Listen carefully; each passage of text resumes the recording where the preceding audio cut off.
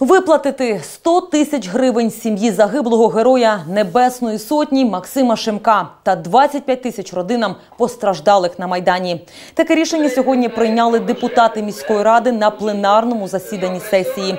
Крім того, обранці вирішили увіковічити пам'ять загиблих, перейменувавши площу театральну у майдан Небесної сотні. За це проголосували 32 з 34 зареєстрованих депутатів.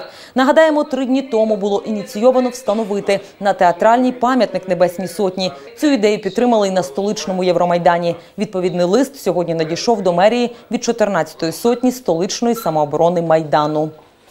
Я вважаю, що це правильне рішення, тому що Майдан Незалежності, е, Майдан на, театральній площі він був з першого дня Євромайдан.